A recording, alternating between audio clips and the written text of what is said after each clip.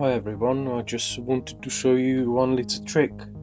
If you, have an old amplifier which uh, doesn't support the new banana or spade connectors and you don't want to ruin it or you don't want to put it in, you just make yourself these uh, easy converters. You can either buy them from Russ Andrews for a lot of money or you can make them yourself and it's really simple because uh, quite often you don't want to do it on the amplifier you don't want to change connectors because then if they're collectible you would uh, practically practically ruin it.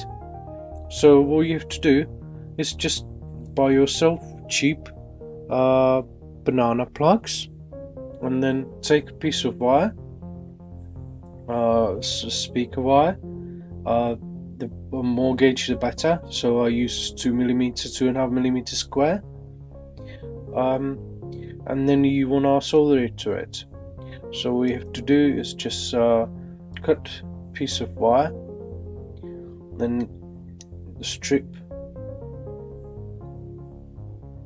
the isolation of it twist it on both sides and then you take a connector and you, you solder it to it like that you can wrap it around if you want.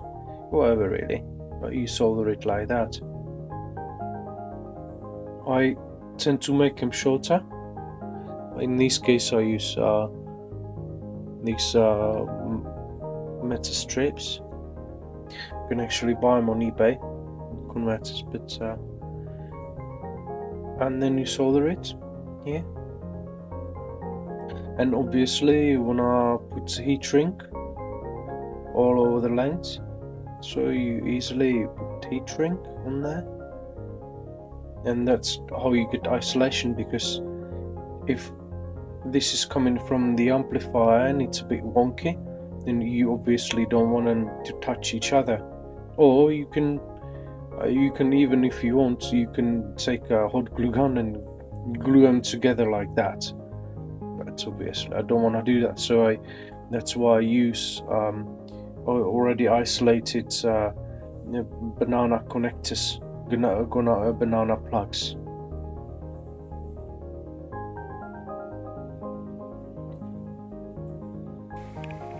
And there we have it. There's those banana converters. And uh, let's have a look how to plug it in. It's really simple. So if you have some old receiver or amplifier from usually before 1980s you just plug it in like that.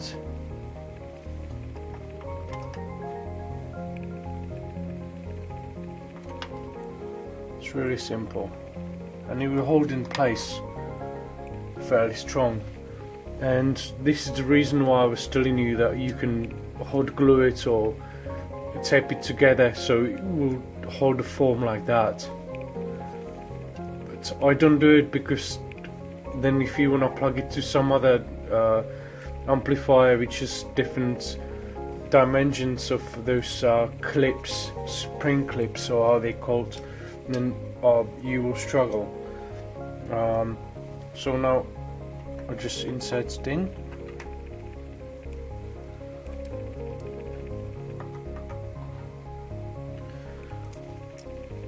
these as well.